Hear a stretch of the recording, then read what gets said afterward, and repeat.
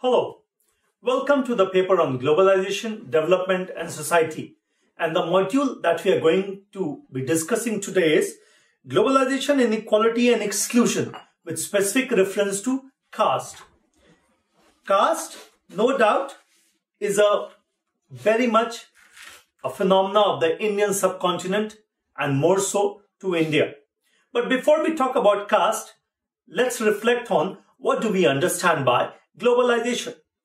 Life in a globalized world is a matter of concern in any discourse on science, technology, industry, as well as in social sciences. The countries and the people are pushed into the trajectories of the impact of globalization in intensive and extensive manner.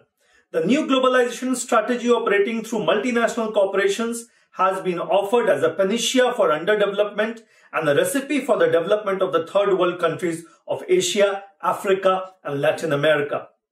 And the cumulative measures of growth have come to be popularly known as the LPG model, liberalization, privatization, and globalization. But the concern for a sociologist is with the impact of globalization on the different strata of society, namely classes, caste, and status group. Globalization has largely affected the third world country and it has also made state weak for implementing social justice principles. In globalization, the gap between the rich and the poor has widened and it has perpetuated the inequality and unevenness in society. Dasgupta and Kiely have argued that globalization operates in an unequal and uneven manner, which is intensified by the neoliberal capitalism, which further compounds the disparities in society, resulting in the process of social exclusion. The concept of social exclusion came from social welfare policy of the French government and was used for the first time by René Lenoir.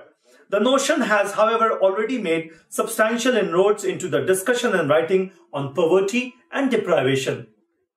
There is a large and a rapidly growing literature on the subject. Amartya Sen further used this concept in his analysis of poverty and capability deprivation. Some of the European government, including the UK, have established separate ministries to deal with issues of social exclusion. The World Bank in its World Development Report of 2006 and the UNDP Development Report of 2005 selected a similar theme of inclusion to influence strongly the way to understand, design and implement development policies. The Planning Commission of India has also deliberately chosen the strategy of inclusive growth in 12th five-year plan to bring the socially excluded groups into development process. Thus, the notion of inclusiveness has entered the public discourse through these reports and initiatives. The concept of a social exclusion is employed in understanding a wide range of social and economic marginalities. Social exclusion can indeed arise in a variety of ways and it is important to recognize the versatility of the idea and its reach. It's, it, is essentially, it essentially refers to the process through which groups are wholly or partially excluded on the basis of group identity from full participation in the economy and society in which they live. Multiplicity of deprivation and structurally organized unequal social relations are two defining characteristics of exclusion. It is embedded in the societal relation epitomized in corresponding societal institution. The process through which individuals or groups are wholly or partially excluded from full participation in the society in which they live. Thorat also presents similar features of social exclusion, saying that it involves two crucial dimensions, namely the societal interrelations causing exclusion and their outcome which cause deprivation. Mayra Buvinic summarizes the meaning of social exclusion as the inability of an individual to participate in basic political, economic, and social functioning of the society, and goes on to add that social exclusion is the denial of the equal access to opportunities imposed by certain groups of society upon others. The definition captures the three most distinguishing features of social exclusion, namely, that it affects culturally defined groups, number one. Number two, that it is embedded in social interrelation, the process through which individual or groups are wholly or partially excluded from full participation in the society in which they live. And number three, that its outcome is deprivation, low income and high degree of poverty of the excluded group. It recognizes the diverse way in which social exclusion can cause deprivation and poverty, Consequences of exclusion thus depend crucially on the functioning of social institutions and the degree to which they are exclusionary and discriminatory in their consequences. Social exclusion has a sizable impact on an individual access to equal opportunity if social interactions occur between group in subordinate relationship. Amartya Sen draws attention to various meanings and dimensions of the concept of social exclusion. Distinctions are drawn between the situation where some people are kept out, at least left out, and where some people are being included, may even be forced to be included in deeply unfavorable terms and describe the two situations as unfavorable exclusion and unfavorable inclusion. The unfavorable inclusion with unequal treatment may carry the same adverse effect as unfavorable exclusion. Sen also differentiated between active and passive exclusion. For the casual analysis and policy response, Sen argued that it is important to distinguish between active exclusion, which is fostering of exclusion through the deliberate policy interventions by the government or by any other willful agent to exclude some people from some opportunity, and passive exclusion, which works through the social process in which there are no deliberate attempts to exclude, but nevertheless may result in exclusion from a set of circumstances. Sen further distinguishes the constitutive relevance of exclusion from that of instrumental importance. In the former, exclusion or deprivation have an intrinsic importance of their own. For instance, not being able to relate to others and to take part in the life of the community can directly impoverish a person's life, in addition to the further deprivation it may generate. This is differently from social exclusion of instrumental importance, in which the exclusion itself is not impo impoverishing, but can lead to the impoverishment of human life. Consequences of exclusion thus depend crucially on the functioning of the social institution through network of social relation and the degree to which they are exclusionary and discriminatory in their outcome. The group focus approach recognizes that people are excluded because of ascribed rather than achieved features beyond individual agency or responsibility. In India, exclusion revolves around the societal institution that exclude, discriminate, and isolate and deprive some groups on the basis of group identity like caste, ethnicity, religion, gender, and others. Group exclusion is based on social and cultural identity of persons irrespective of the attributes of individual. Over the last few years, there has been a significant shift in social policy discourse from a focus on tackling social exclusion towards one of promoting inclusion. Such a change in the focus inevitably has consequences for how we understand, frame, and potentially address the way in which certain individuals and groups are marginalized and excluded. The way in which the socially excluded are constructed within policy and practice discourse can result in a number of potential consequences. In particular, it can lead to a focus on changing the individual's choices and aspirations rather than the social context which constrain their choices. In this way, the problem which needs to be addressed is not social inequality, oppression, or discrimination, but cultures of low aspiration and fatalism. The notion of social exclusion as a dynamic term focusing attention on the power dynamics is involved in social practices of exclusion and marginalization. Thus, exclusion has been turned from a process with identifiable cause into an outcome, a condition people are in. As such, several ambiguities in the social exclusion literature in both social policy and development study fuel the common criticism that the concept is redundant with respect to already existing approaches, particularly more multidimensional and processual approaches. In order to resolve these ambiguities and to derive value added from the concept, social exclusion needs to be reconceptualized in a way that decisively opts for a processual definition. Accordingly, a working definition of social exclusion is proposed as a structural, institutional, or agentive process of repulsion or obstruction. This definition gives attention to processes occurring vertically throughout social hierarchies and opens up applications of social exclusion approach to analysis of stratification, segregation, and subordination in development studies, especially within context of high or rising inequality.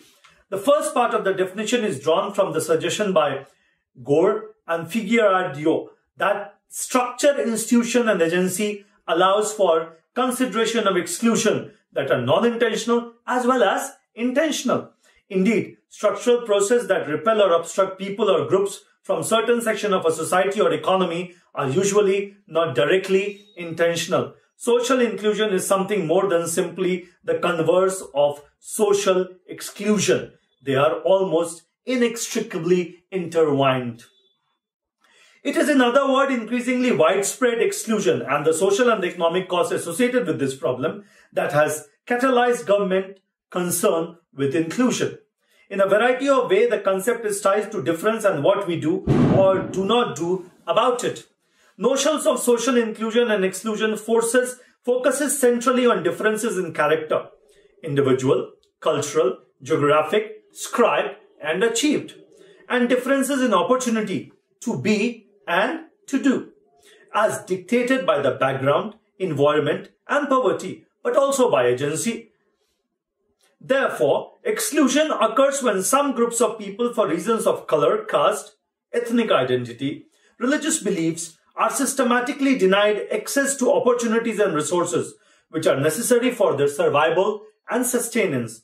Social inclusion, by contrast, is participatory and empowering, requiring various kind of affirmative measures designed to remove discrimination, marginalization, and deprivation. The possibility of inclusion through state intervention can be conceived only by knowing the structures of exclusion. Within an Indian context, exclusion is witnessed in various forms and it is much interrelated.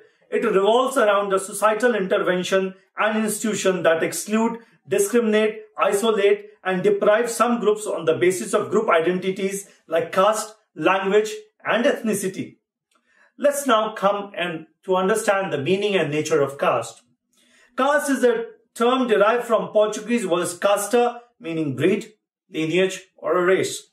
It is a term used to identify the different social segment within the caste-based Hindu society. Each caste has its own custom, ritual, family, deities, and food habit. According to Baba Sahib Ambedkar, it is mainly the custom of endogamy that has preserved the caste and prevented one caste from fusing into another. Almost all the writers and scholars confirm to this view of Dr. Ambedkar. G.S. Ghurye holds that caste in India is a Brahmanic child and that endogamy, the outstanding feature of caste, was first developed by the Brahmins. The function of the caste can be understood only with regard to the caste system. The caste system is the foundation on which Hindu society is built. Dr. Ambedkar says, by the Hindu social system, the community are placed in an ascending scale of reverence and a descending scale of contempt. The Hindu caste system is a pyramid-like social structure in which majority of the lowest caste are forcibly kept at the bottom of the pyramid, condemned to manual profession and forced to serve the caste above them. Above them. Historically, the caste system has formed the economic framework for the material life of people in India. In its essential form, the caste system is based on certain unique customary rules and norms that structure production, organization, and distribution. It is the characteristics of fixed and compulsory occupation with concomitant fixed socio-economic rights. Or each caste implies exclusion of one caste from undertaking the occupation of other castes. Consequently, although every caste excepting those at the top of the caste hierarchy suffers in differing magnitude, the ex-untouchable who are located at the bottom of the caste hierarchy suffer the most as they are excluded from access to any socio-economic rights and freedom. Michael D. Barker has concluded the nature of caste exclusively by giving the horizontal and vertical characterization of caste on the basis of the contemporary and traditional mooding on caste as given by the French scholar Louis Dumont and the famous Indian sociologist Professor Dipankar Gupta. He believes that caste equilibrium is thus sustained by the loyalty of individuals to their own caste above all others rather than through a fixed hierarchical power structure. The vertical perspective presumes a strict hierarchy with top-down enforcement, such as that found in a racially segregated society. While Dumont promoted the traditional position of Brahminical hierarchy, Gupta and Sahai exaggeratingly emphasized upon multiple hierarchies in multiple castes. Various caste study, for example done by Jodhka uh, in 1998, caught in 2004 on the vertical mobility of the caste status shows dire need to locate multidimensionality rather than single ideology of pan-Indian caste reality. Professor Dipankar Gupta identifies caste system as a form of differentiation wherein the constituent unit of the system justify endogamy on the basis of putative biological differences which are semaphore by the ritualization of multiple social practices. Vertical theories of caste include the race-based theory of N. Chakrabarty or the purity-based theory of Louis Dumont. Gupta says that there are probably as many hierarchies in practice as there are castes and in fact assertive caste identity articulate alternative hierarchies. Sahai believes that each caste has a notion of caste hierarchy which is constantly contested by the other castes. Though politically Indian democracy proclaims the modern and the representative spirit, yet it is undeniable to accept the persistent and perpetuation of caste in social practice and discourse. Jati still has an immense impact on social life and interaction. Hierarchies have waned unevenly, but the institution of Jati till date remains potent. No doubt, caste has emerged as a question of identity and assertion, but the persistence of hierarchy cannot be denied. As critiquing Manor, Harriss argues that perhaps Manor underestimates the importance of the persistence of hierarchical values associated with caste as a factor in the way in which government works and its role in class differentiations. Caste, which as D.L. Sheth puts and G.D. Berreman confirms, it constitutes a sacralized power structure which entails an ideology that explains and legitimates differences of class and power relations. Globalization as a totalistic process seems to produce two kind of consequences. On the general feature of the economy, number one, and then second level, on the different classes, caste and ethnic group of society. It is whitening and deepening some old inequalities existing in our society since many years. Example, inequality among and between status group, that is caste. Indian society with the existence and prevalence of the caste system has been facing the forces of globalization in the spirit of competition in the world market. It assumes critical significance as most of them are placed at the lowest rung of the Hindu system of social stratification. In post-independent India, the social status of the historically excluded caste, especially the scheduled caste, need to be analyzed in terms of the impact of, firstly, general structure of economic development and reservation policy. Secondly, globalization and reservation policy. A major comparative study of development of Dalits against non-Dalit group has been undertaken by Thorat. The period covers from 1991 to 2000-2001. This encompasses the period of a decade of globalization. As he stated, there is a tangible improvement in the overall conditions of the scheduled caste. Their capital assets like land have improved marginally thanks to the stubborn reluctance of the political class that has enacted many paper legislation on land reform, but actually not, not much is happening on the ground level. Very few scheduled castes are in business and as entrepreneurs, they are not visible on the economic front. In regard to access to social services like housing, health, electricity, and drinking water, the Dalits have experienced some change. Thorat, in a comparative study of socio-economic change among the SCs and the non-SCs, observed that though poverty declined to 36% in 1999-2000, yet 61% of agricultural laborers were Dalit. Their access to literacy, education and health has increased, but the rural scenario has depressing both during the plan and the liberalization epoch. As the data shows, globalization and liberalization had an adverse impact on Dalits in 2011, 56% of Dalit have been reported to be living below the poverty line. In spite of the reservation in public sector jobs. They are underrepresentations in upper echelons of the job hierarchy and show overrepresentation in the lowest rung of the jobs. This shows the concern and commitment of the political class in regard to implementation of the policy. In the respect of health indicators, the position of Dalit is unenviable. About 56% Dalit children suffer from malnutrition and are vulnerable to all kinds of disease. In terms of access to social amenities, the Dalits are severely deprived as only 6.6% of Dalits have access to housing, drinking water and electricity. Since globalization, the structural adjustment made in the economy have accentuated inequalities between different sectors of the economy and also across different social formation. Example, caste and ethnic groups. The IT and manufacturing sectors have grown faster than agriculture. Information and communication technology, in fact, has created digital divide on the basis of caste significantly, both in terms of access and equality. Despite Article 17, the Protection of Civil Rights Act 1955, and Scheduled Caste and Scheduled Tribe Prevention of Atrocity Act of 1989, untouchability is unfortunately practiced in many parts of India.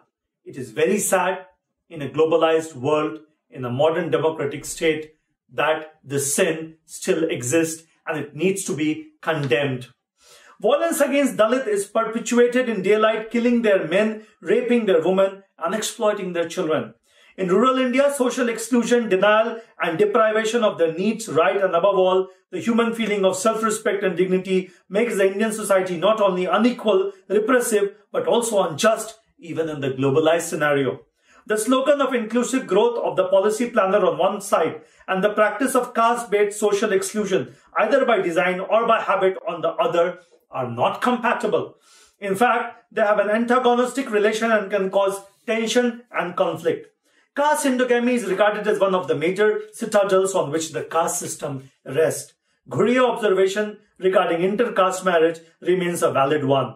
Caste endogamy remains the social desideratum and conversely, intercaste marriage between scheduled caste and higher caste is said to bring shame upon the family of the latter.